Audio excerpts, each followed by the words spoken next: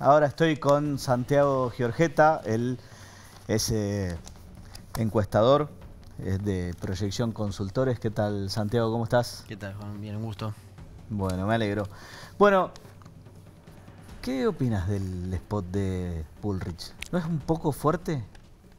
Eh, sí, si, vos me preguntás, a mí particularmente no me gusta, pero pensado en una estrategia electoral para disputar la paso, está muy bien logrado. Bien, pero, pero está enfocado en eso, en la paso. Sí, sí, claramente, que es el, es más, es el paso que tiene, que tiene por delante Patricia Burri para, para poder ser la candidata del, espacio de Juntos por el Cambio. Primero la paso, ganarle a su adversario la reta y después ir a competir por la elección eh, general. Digo, por ahí ese análisis en el esquema de Horacio Rodríguez Larreta no lo previeron.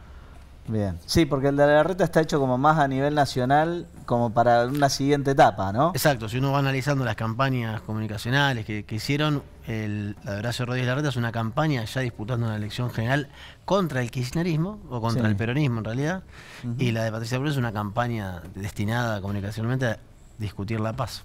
Bien, bueno, acá atrás tenemos algunos números Contame, bueno, cómo, cómo vienen en principio los, los sondeos de cara a las pasos. Bien, este estudio que hicimos apenas eh, oficializadas las fórmulas, lo que nos mostró por un lado es, seguimos viendo un escenario competitivo a nivel general, digo, esto nosotros lo veníamos manteniendo hacía bastante tiempo. La gran mayoría de las consultoras que, presentaron números más o menos rondan estos, estos porcentajes.